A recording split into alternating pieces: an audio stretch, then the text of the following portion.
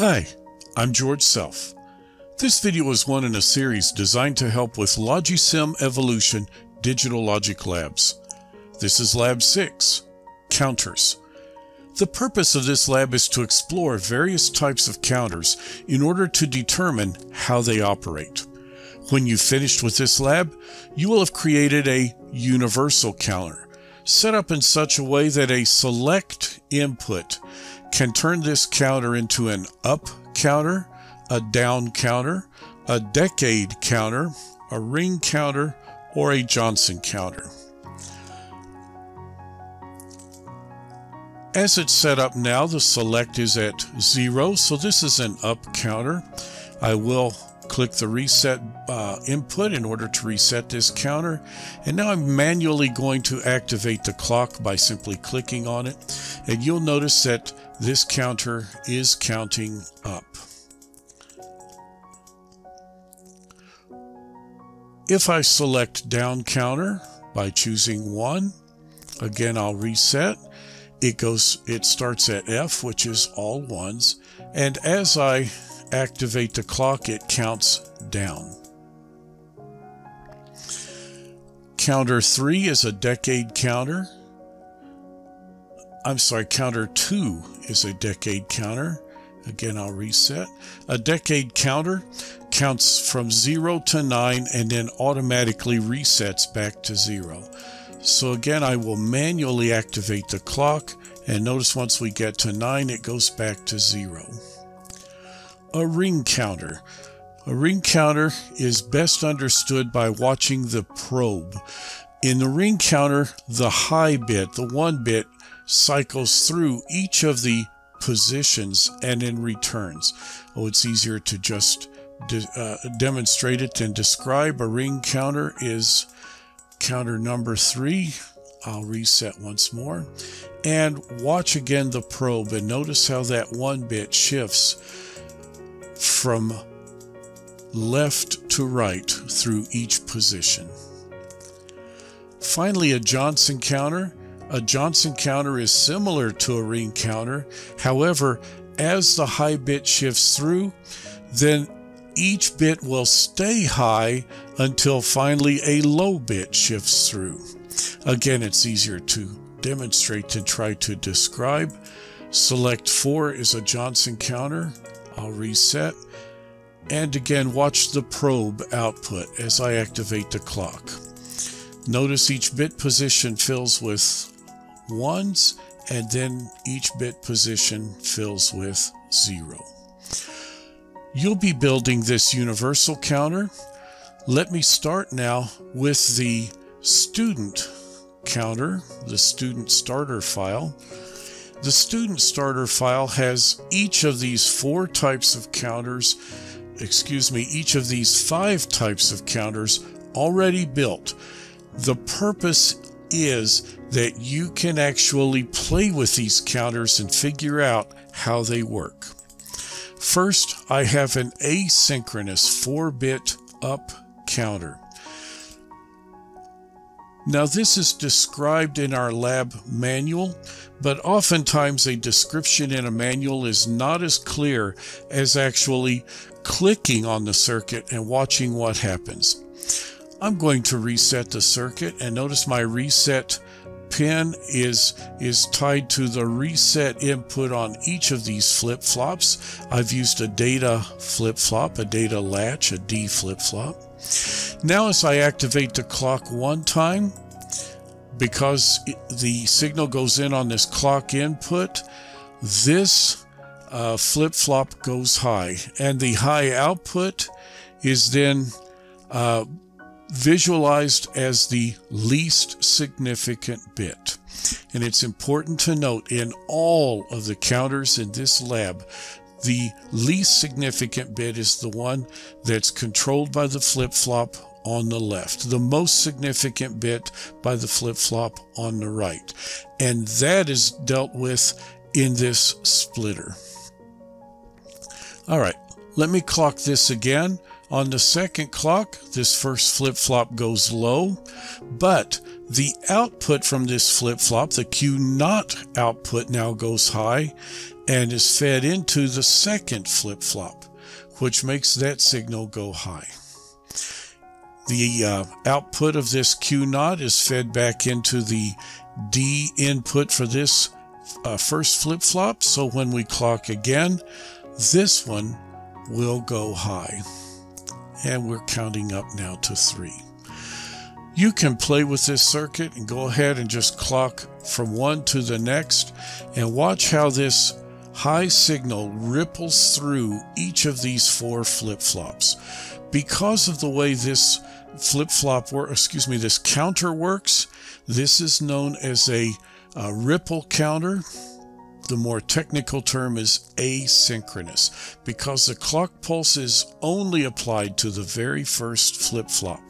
The rest of them then are are triggered off of the inputs, or excuse me, the outputs of the preceding flip flop. Let's take a look at the down counter. The down counter is very similar to the up counter, except now each succeeding flip-flop is triggered not from the Q not output, but the Q output. I'm going to reset this. And notice the reset now actually comes in on the set port, which means all of these flip-flops are now high instead of low. And let's clock this one time.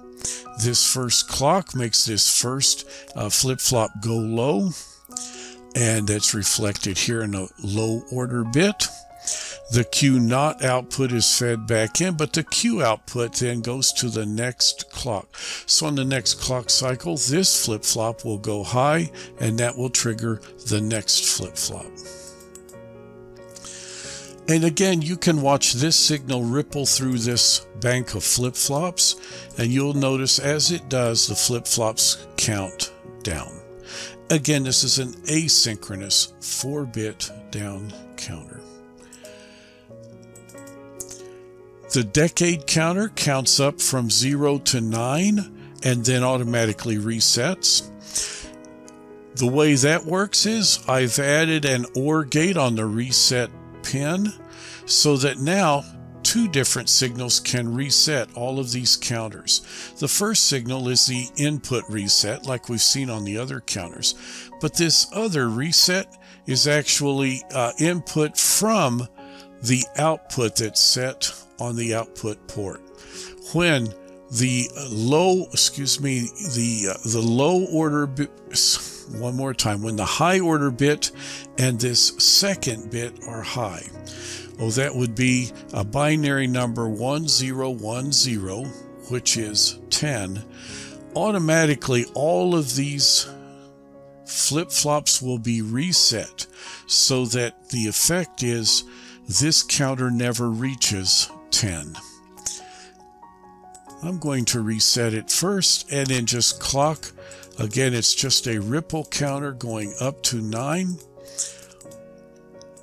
8, 9 works just fine. On the next count, this line will go high. This line is already high. That will activate this AND gate, which will reset all of these flip-flops to zero. All of that happens in a blink of an eye. And now we're, we've reset our count back to zero. Of course, a decade counter can be set for any output by changing the inputs of this AND gate. You, you can have it count from 0 to 3 or 0 to 9 or whatever. Next is a ring counter. And for the ring counter, I've switched around and now I'm using a synchronous circuit instead of asynchronous. With a synchronous counter, the clock circ or the clock input is applied to every flip-flop and this clock pulse does not have to ripple through the entire circuit. Every flip-flop gets the clock pulse. So the wiring is just a little bit different. For the ring counter, let me just first reset. We start with a 1 in the low order bit, and we do that through this reset going in on the set port of the first flip-flop, but the reset port of all of the others. Now as I activate the clock, that one is shifted from the low order to the high order bit. Again, you can take a look at this counter, you can play with it and, and, and activate the clock and watch and see what happens to this um, one to this high output as each of these flip-flops is activated. Finally, a Johnson counter, and I should point out for the ring counter, the output from the last flip-flop goes into the output, but it's also fed back into this first flip-flop, and that's what makes that high reset back into that low order bit. A Johnson counter is very similar to a ring counter as you would expect, except in a Johnson counter, it's the Q not output that's fed back into that first flip-flop. For that reason, this is sometimes called a twisted tail counter.